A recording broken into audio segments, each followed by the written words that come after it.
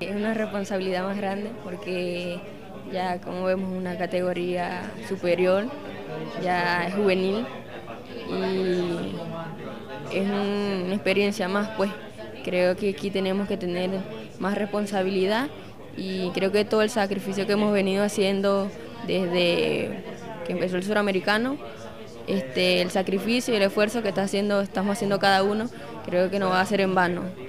Todos vamos por una expectativa que es ir a hacer un buen papel, pero tenemos que ir paso a paso. Y en la cancha es, es donde se ve quién es el mejor equipo. Tenemos muy buena comunicación entre todas, a pesar de que la mayoría de mis compañeras que están aquí en la sub-20 fueron conmigo al Mundial Sub-17 y las que no, están nuevamente ahorita con nosotros, igual pues tienen nuestro apoyo y le hemos brindado esa confianza pues para que se sientan casi igual que las demás. Y Daniuska, bueno, le damos la bienvenida por estar aquí y Ana y Luisa.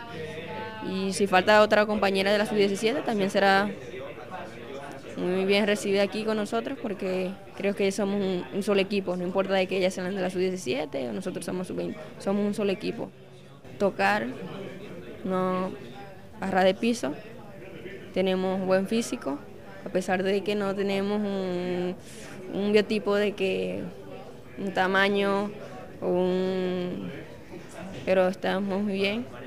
De verdad que es muy agradecida pues con nuestro país porque cuando llegamos en 2014 de Costa Rica fue algo impresionante en cuando nos recibieron en el aeropuerto y ahorita también pues ya nos están conociendo más. Antes creo que no sabían, no sabían mucho de nosotros y ahorita sí pues ya nos han conocido más, han estado allí con nosotros, nos han estado apoyando. Gracias a Dios, de verdad, muy agradecida y a nuestro país por su, por su apoyo, por lo que nos están brindando.